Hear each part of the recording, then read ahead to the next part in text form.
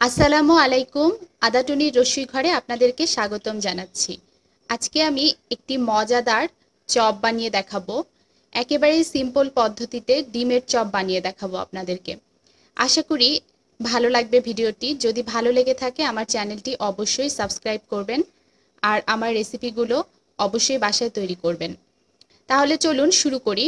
ডিমের চপ বানানোর জন্য প্রথমেই বেসনের গোলা তৈরি করব।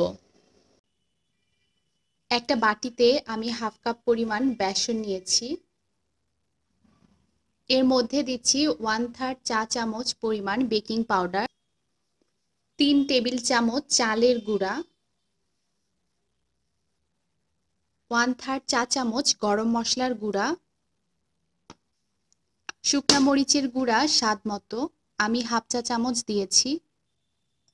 ওয়ান থার্ড চা চামচ পরিমাণ দিচ্ছি ভাজা জিরার গুঁড়া এবার একটু শুকনো অবস্থায় এটা একটু মিশিয়ে নিচ্ছি। এবারে এর মধ্যে অল্প অল্প পানি দিয়ে মেশাতে হবে। একবারে বেশি দিবেন না পানি, একটু একটু করে পানি দিয়ে এটাকে মাখতে হবে। দিচ্ছি স্বাদ মতো লবণ, এবারে মিশিয়ে নিচ্ছি। এবারে ভালো মতো ব্যাটার বানিয়ে নিতে হবে। ব্যাটারটা কিন্তু একটু ঘন হবে, ডিমের চপের জন্য একটু ঘন করেই ব্যাটারটা বানাতে হবে। এবারে এটাকে একটু হাত দিয়ে ফেটিয়ে নিতে হবে। একটু জোরে জোরে ফেটাবেন। ডিমের চপের জন্য ব্যাটার রেডি। এবারে এটাকে আধা ঘণ্টার জন্য রেখে দিব। আধা ঘণ্টা পরে আমি এখন ডিমের চপগুলো ভাজার জন্য তেল গরম করতে দিয়েছি। আর এখানে আমি চারটা ডিম নিয়েছি। ডিমগুলোকে আমি অর্ধেক করে নিয়েছি মাঝখান থেকে কেটে। এবারে ভাজবো। তেলটা গরম হয়ে গেছে। এবারে একটা ডিমের একটা অংশ নিয়ে এভাবে বেসনটা এর উপরে দিয়ে মাখিয়ে নিতে হবে।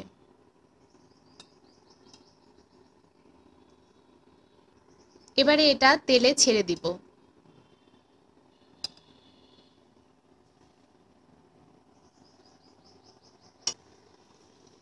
এইভাবে সবগুলো দিয়ে দিয়েছি। আর এখন চামচের সাহায্যে তেলগুলো এভাবে উপরে দিয়ে দিব।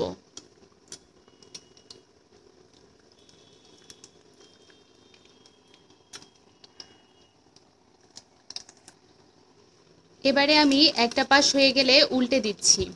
আর এই চপগুলোকে কিন্তু মাঝারি আঁচে ভাজতে হবে।